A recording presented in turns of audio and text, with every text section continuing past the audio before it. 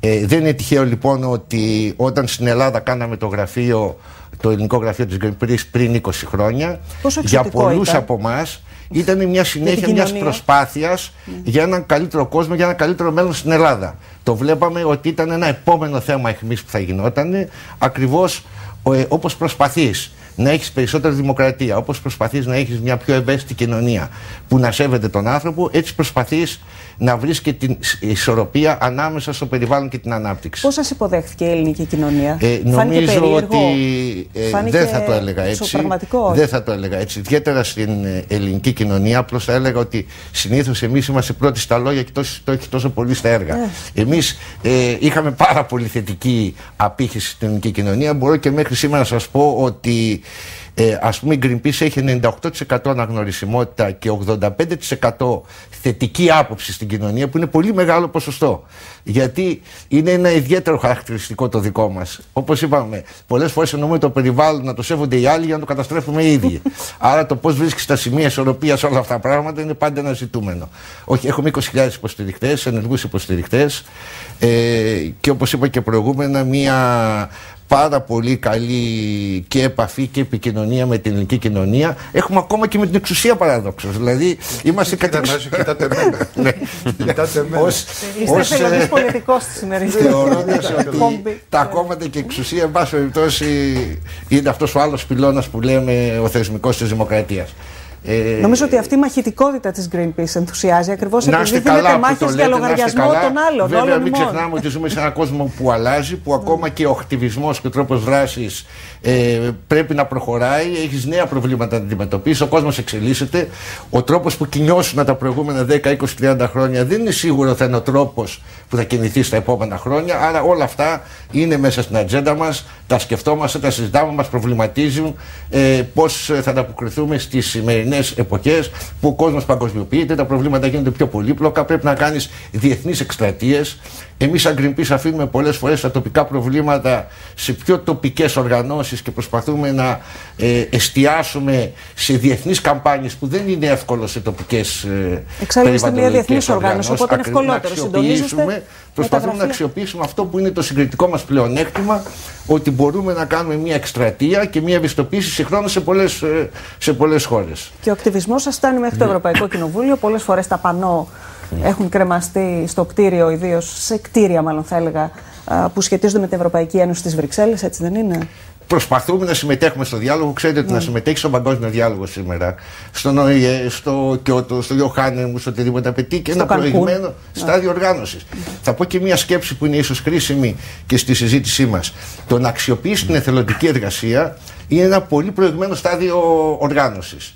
Είναι πράγματι πάρα πολλοί άνθρωποι που θέλουν να προσφέρουν, αλλά το πώς αυτή την προσφορά μπορείς να τη διοχετεύσεις ώστε να έχεις συνέχεια, να έχει ικανοποίηση αυτή που την προσφέρεις και να είναι ενταγμένη σε ένα σημείο που να μην καταπιέζει το άτομο, να εκφράζεται, αλλά συγχρόνως να έχει αυτό που λέμε και την ικανοποίηση και τη συνέχεια, είναι κάτι πάρα πολύ δύσκολο. Ε, και είναι και μια πρόκληση αυτό το πράγμα. Διότι εμείς, σαν την Greenpeace, που μπορώ να σας πω ότι πέρα από τους σταθερούς υποστηρικτές, καθημερινά έχουμε ανθρώπους που θέλουν να προσφέρουν. Ε.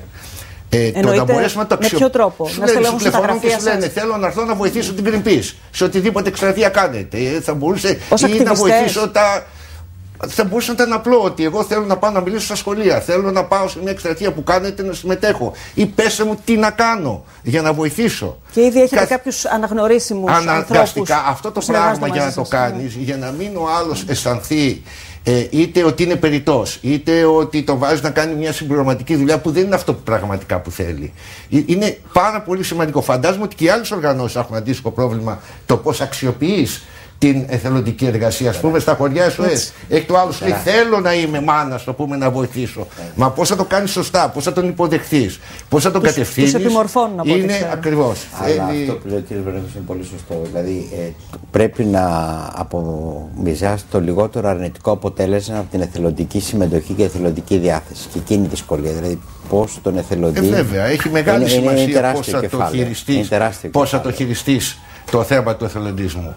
Αλλά ε, απλώς τώρα για να ολοκληρώσω και εγώ να πω ότι είναι πάρα πολλά τα στάδια, πάρα πολλά τα επίπεδα από την απλή συμμετοχή στη γειτονιά μου, στην, ε, στον κλειστό μου κύκλο μέχρι την ευρύτερη συμμετοχή και την ευρύτερη συμμετοχή την έννοια ότι συμμετέχω σημαίνει ότι βοηθάω για ένα καλύτερο κόσμο συμμετέχω, βοηθάω για να ανταποκριθώ στα αιτήματα της εποχής και κυρίως καταθέτω ένα περίσσευμα ψυχής για κάτι το οποίο είναι κοινό.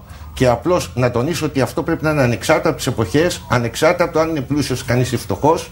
Και δεν είναι τυχαίος και ο στίχος του ποιητή που λέει Γενναίοι ο Σάκη είμαστε πλούσιοι και ο Σάκη είμαστε φτωχοί, πάλι μικρογενναίοι. Πάντα συντρέφονται στους ομπορούνται, πάντα την αλήθεια ομιλούνται, πλην χωρίς μίσος για τους ψευδομένους. Νομίζω ο λυρισμός ε, συνάδει πάρα πολύ με τον εθελοντισμό. Κυρία Γανωτή, εσείς εκπροσωπείτε την Άνιμα, είστε η ψυχή της Άνιμα μαζί με κάποιους, με τον βασικό πυρήνα. Έτσι, στα λατινικά, έτσι. Ε, ακριβώς. Ε, το λογοπαίγνιο ήταν για τους γνωρίζοντας τη λατινική, όπως ο κύριος Λαμπρινίδης, ας πούμε, ως νομικός. Και εξουσιαστής. Ε, τώρα αυτό δεν ξέρω. Στο χέρι σας. Είναι και η res publica όμως, δηλαδή δημοκρατία, λατινική λέξη. Ε, κυρία Δανωτή, εσείς ε, στο συγκεκριμένο, συγκεκριμένη συντροφιά εκπροσωπείτε τους ανθρώπους που βοηθούν τους πλέον καταφρονημένους του πλανήτη. Δηλαδή πιο φτωχοί και από τους φτωχούς, γιατί πρέπει να βοηθήσουμε τα ζώα τα οποία τα ίδια δεν έχουν καν το, το μυαλό που έχει δοθεί και στον πιο φτωχό άνθρωπο να, να ανταπεξέλθει στις δυσκολίες αν, συνα... αν μπερδεύετε λίγο τώρα, θα μου επιτρέψετε κάποιες σκέψεις έτσι λίγο πιο ευρείε. Καταρχήν, ξεκινώντας από αυτό που είπατε, η συμπόνια δεν έχει όρια. Ο, ο άνθρωπος που συμπονεί, συμπονεί το, το παιδί, τον γέρο, τον άνθρωπο που δεν έχει να φάει στην Αφρική και συμπονεί και ένα κατοικίδιο, ένα άγριο ζώο. Δεν μπορείς να βάλεις όρια σε αυτό. Και εμείς πολύ συχνά αντιμετωπίζουμε μια κριτική, ας πούμε, ότι εσύ, α, τα ζώα, ο άνθρωπος που υποφέρει. Ε, θα ήθελα να σας πω ότι πολλοί από εμάς, ως πρόσωπα, οι ίδιοι που είμαστε στις οργανώσεις περιβαλλοντικές, για τη δικιά μας, α μιλήσω καταρχήν, συμμετέχουμε σε ένα σωρό άλλες δράσεις, αλλά και ως φορέας Έχουμε συνεργαστεί με παιδιά που κάνουν απεξάρτηση από ναρκωτικά, με παιδιά με ειδικές ανάγκες, με, με, παιδάκια που ας πούμε είναι, παραδείγματος χάρη με την Κιβωτό του Παπαντώνη, ναι. συνεργαζόμαστε, κάνουμε κάποιες δράσεις μαζί. Ε, δεν μπορείς να το ξεχωρίσει. Από τη στιγμή που μπαίνεις σε αυτό το χώρο, χορεύεις. Δεν υπάρχουν όρια και ξεχωριστά και τύχη. Επίσης, αυτό που συζητούσαμε με τον κύριο Βερνίκο πριν, ότι ε, στην πραγματικότητα, όταν ασχολείσαι με την φύση και την άγρια ζωή, με τον άνθρωπο ασχολείσαι. Διότι δεν είναι ξεχωριστά αυτά. Δεν μπορούμε ούτε εμείς χωρίς αυτά, ούτε αυτά χωρίς εμάς τελικά σε αυτόν τον πλανήτη. Ε, οπότε δεν είναι στη διακριτική μας ευχέρεια, πιστεύω, να μην ασχοληθούμε με όλο αυτό με το τι συμβαίνει στο περιβάλλον και στη φύση. Αυτό δεν μπορούμε να μην το κάνουμε. Δεν, μπορούμε να, δεν είναι μια φιλανθρωπία να δώσω στο φτωχό 10 ευρώ, αν και καμιά φορά και αυτό που το περιφρονούμε έχει σημασία το να δώσεις 10 ευρώ στο φτωχό. Προσφορά Αλλά είναι κάτι που είναι υποχρεωτικό πλέον. Δεν μπορούμε χωρίς αυτό.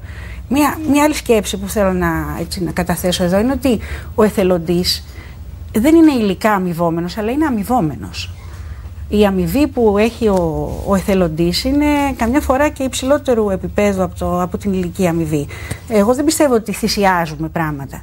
Παίρνουμε πράγματα. Είναι ένας τρόπος να υπάρχεις και ευτυχώς είναι για πολύ κόσμο αυτός ο τρόπος ανάγκη.